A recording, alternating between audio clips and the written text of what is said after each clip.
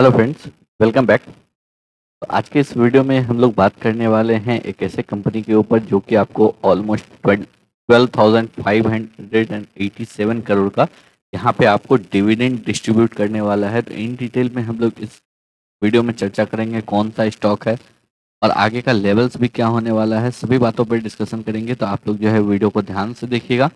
और अगर आप लोग चैनल पर पहली बार आए हैं या फिर अभी तक आप लोगों ने चैनल को सब्सक्राइब नहीं किया है चैनल को सब्सक्राइब करके बेल आइकन को ज़रूर प्रेस कर लीजिए, साथ ही साथ नोटिफिकेशन में क्लिक करके ऑल को भी सिलेक्ट कर लीजिए, जिससे कि आप लोगों को भी लेटेस्ट नोटिफिकेशन मिलता रहेगा।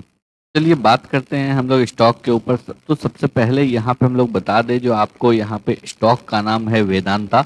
वेदांता ने आपको थर्सडे को अनाउंस किया है, जो 11 अक्टूबर का जो आपको वेदांता का बोर्ड मीटिंग होने वाला है, उसमें आपको वेदांता के पास 12,500 करोड़ का जो है वो आपको सरप्लस अमाउंट है एज ए रिज़र्व उसको वो अपने शेयर होल्डर्स में यहाँ पर डिस्ट्रीब्यूट करने के लिए जो है यहाँ पे आपको डिस्कशन करेगा और उसके बाद जो है आपको नेक्स्ट क्वार्टर में डिस्ट्रीब्यूट किया जाएगा।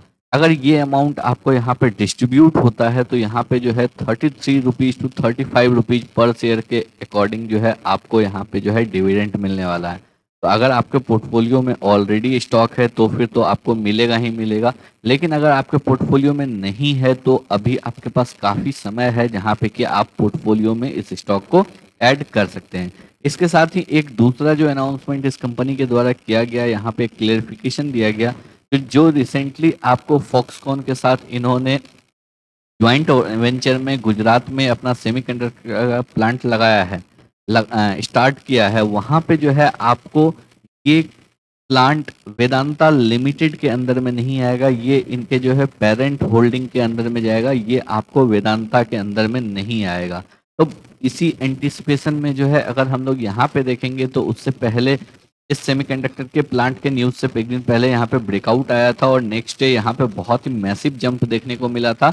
स्टॉक में ऑलमोस्ट जो है आपको टेन परसेंट से ज़्यादा का हम लोगों को यहाँ पे मूवमेंट देखने को मिला था। लेकिन उसके बाद से जैसे ही यहाँ पे आपको रिलीज़ किया गया क्लियरिफिकेशन दिया गया, यहाँ पे हम लोगों को एक प्रॉफिट बुकिंग देखने को मिलता है। लेकिन फिर भी अगर देखेंगे तो ओवरऑल अभी भी कंपनी गुड है अच्छी है, ऐसा नहीं है जो मतलब कि आपको सेमीकंडक्टर का प्लांट लगने से ही कंपनी अच्छा था। ऑलरेडी कंपनी का पोर्टफोलियो काफ़ी अच्छा है।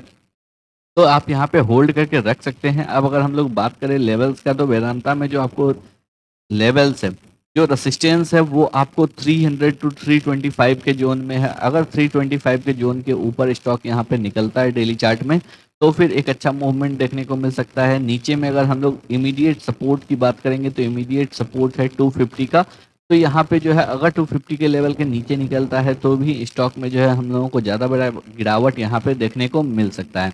नहीं तो इन बिटवीन जो है स्टॉक यहाँ पे थोड़ा सा टाइम स्पेंड करने के बाद ऊपर की साइड ब्रेकआउट दे सकता है। लेकिन जो मेन बात है, बहुत से लोग यहाँ पे डिविडेंड के लिए स्टॉक परचेज करना चाहते हैं और वेदांता एक बहुत ही अच्छी कंपनी है। यहाँ पे कि अगर 35 टू थर्टी थ्री रुपीज़ का डिविडेंड अगर वापस से नेक्स्ट क्वार्टर में मिल जाता है तो ओवरऑल अगर हम लोग देखेंगे तो इस फाइनेंशियल ईयर में जो है अप्रॉक्सीमेट आपको 80 टू 85 रुपीज़ का डिविडेंड कंपनी पे आउट करेगी, जो कि आपको बहुत ही अच्छा डिविडेंड है। ऑलमोस्ट 26 परसेंट का ग्रोथ जो है आपको ओनली डिविडेंड के थ्रू यहाँ पे मिल गया। तो इसी वजह से जो है वेदांता एक कंपनी भी अच्छी है, साथ ही साथ एक अच्छा डिविडेंड पे आउट भी कर रही है। और जो है आपको टेक्निकल्स भी यहाँ पे काफ़ी अच्छा लग रहा है। ऑलरेडी एक अच्छा करेक्शन हो चुका है इस स्टॉक में। तो यहाँ पे अगर आप अपने पोर्टफोलियो में ऐड करना चाहते तो आप अपने पोर्टफोलियो में ऐड कर सकते हैं। आई होप आप लोगों को सभी लेवल जो है बिल्कुल क्लियर हो गया होगा। अगर आप लोगों को वीडियो पसंद आया हो एनालिसिस अच्छा लगा हो वीडियो को लाइक करके चैनल को सब्सक्राइब ज़रूर करें।